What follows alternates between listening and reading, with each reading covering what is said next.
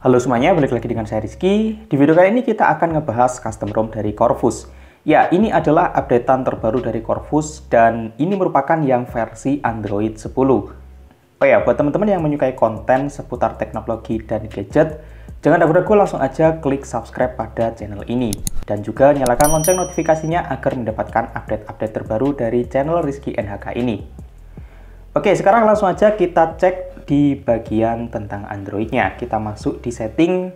Oke, dan ini merupakan Corvus Extension official dengan menggunakan base Android 10 dengan kernel yang digunakan yaitu versi 4.4.279 Ultron LPKM. Pertama untuk bagian display interface di sini saya tidak bisa cerita banyak karena masih sama aja dengan versi Corvus sebelumnya di bagian quick setting dan volume bar di sini masih sama, cuman yang membedakan di sini di bagian recent apps-nya. Ya, di sini untuk recent apps nya di bagian bawah di sini tidak ada shortcut lagi. Dan menurut saya ini sebuah kelemahan sih, karena saya tipikal orang yang tidak mau ribet. Jadi kalau saya ingin menghapus semua recent apps yang terbuka, saya tinggal bisa tap sekali aja di bagian recent apps ini. Namun di Corvus versi ini tidak ada guys, jadi kita harus men-scroll di paling kiri dulu, baru kita menemukan hapus semua. Oke, kemudian di bagian kustomisasi sendiri, di sini juga masih sama dengan Corvus sebelumnya. Di sini terdapat ribbon layer ya, dan ini terdapat banyak sekali kustomisasi. Kita tidak usah membahasnya satu persatu. Di versi ini kita lebih fokus aja ngebahas untuk bagian performanya. Karena Android 10 itu lebih terkenal dengan performa yang lebih stabil dan lebih bagus. Oke, kemudian di bagian yang paling banyak ditanyakan oleh teman-teman yaitu di penyimpanannya. Ya, kita tunggu. Oke, dan di OS ini menggunakan penyimpanan internal itu 8,9 GB. Oke, sekarang kita lihat untuk hasil tes performa yang dimiliki oleh OS ini. Biasanya Corvus itu memiliki performa yang kencang seperti di Corvus 16. Namun kalian jangan berharap itu akan terjadi di OS ini. Dan langsung aja kita lihat guys. Ya, ini hasil tes performanya. Pertama saya tes dengan menggunakan Geekbench 5 dan OS ini dapat skor 263 untuk single core dan 926 untuk multicore-nya. Untuk skor multicore ini sangat rendah sekali. Kita tes dengan menggunakan GPU benchmark dan OS ini dapat skor yang masih sama, masih rendah juga, yaitu di 364.800. Lanjut untuk skor dari CPU throttlingnya. Dan bisa kita lihat untuk CPU throttling, untuk grafiknya di sini dia stabil, namun stabilnya itu stabil rendah. Di menit pertama ini memang tinggi, kemudian di selanjutnya ini jatuh. Ya, di sini kita bisa lihat untuk performanya maksimal ada di 119,534 gips. Kemudian rata-ratanya ada di 95,627 gips dan performa minimalnya itu ada di 90,845 gips.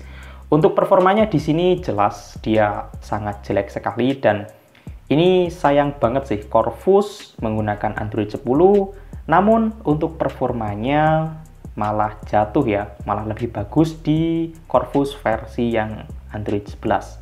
Tepatnya di Corvus 16.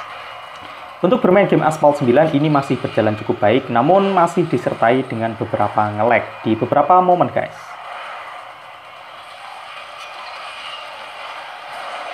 Dan di sini untuk FPS meternya dia stabil di kisaran 30 FPS.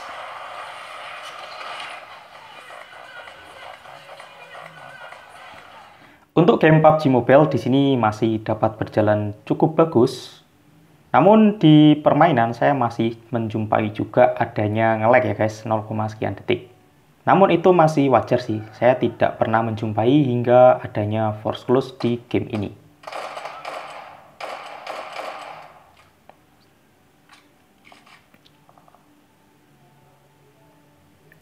Oke, kemudian untuk FPS meter di sini menunjukkan dia stabil ada di 25 FPS hingga 27-an FPS. Dan untuk settingan grafik sendiri, bentar kita langsung aja lihat. Oke, dan settingan grafiknya di situ defaultnya ada di balance dan medium FPS.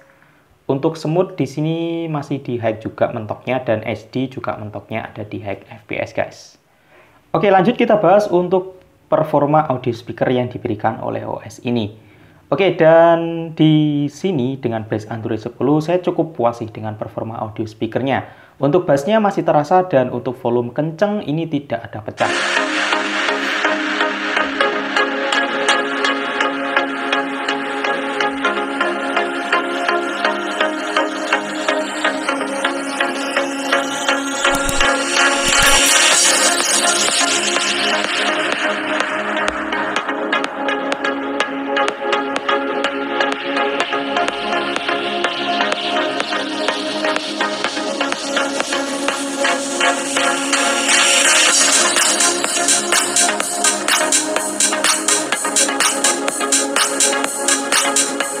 Lanjut untuk bug sendiri yang dimiliki oleh OS ini yaitu saat kita bermain game sambil melakukan screen recorder atau merekam layar. Ya, langsung aja kita coba di sini.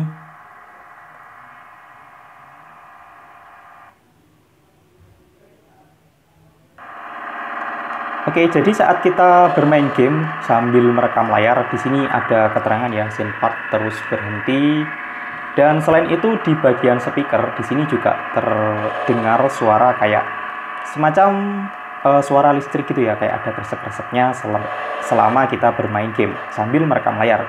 Namun saat kita mematikan untuk screen recordernya, itu akan kembali normal lagi.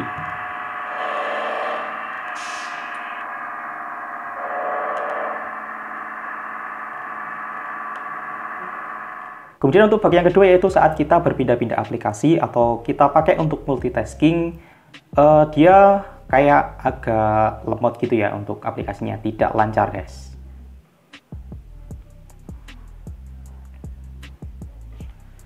Oke, dan untuk bug yang saya temukan masih itu aja. Untuk selebihnya masih oke-oke aja, berjalan dengan sangat baik. Untuk konektivitas dan lain sebagainya masih normal guys. Oke, kemudian untuk performa baterai yang dimiliki oleh OS ini cukup bagus sih. Dan untuk penggunaannya saya bisa hingga seharian untuk penggunaan sosial media dan chatting. Kemudian untuk charger speednya di sini masih normal apabila kita tidak sedang menggunakannya.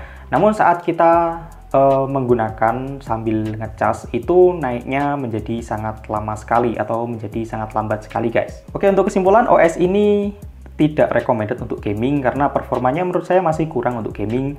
Namun kalau untuk penggunaan sosial media, kemudian penggunaan chatting, dan penggunaan-penggunaan ringan lainnya, OS ini masih mampu berjalan dengan cukup baik. Oke, untuk penginstalan pertama kita masuk di recovery, kemudian kita masuk di web dan di sini kita pilih Dalvik, Jets Data System dan juga vendor.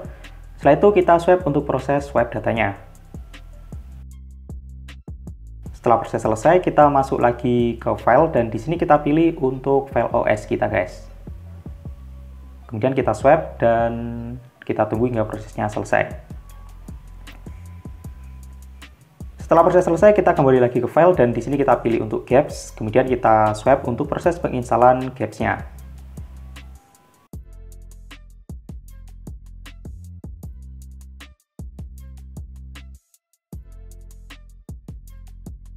Setelah proses selesai, kita bisa langsung pilih untuk reboot system. Dan kita tunggu hingga masuk ke menu OS kita. Oke, dan itu untuk review dari Corvus yang versi Android 10. Kalau kalian suka dengan video ini, klik tombol like dan juga subscribe-nya. Kalau tidak suka, klik tombol dislike-nya dan sampai jumpa di video selanjutnya.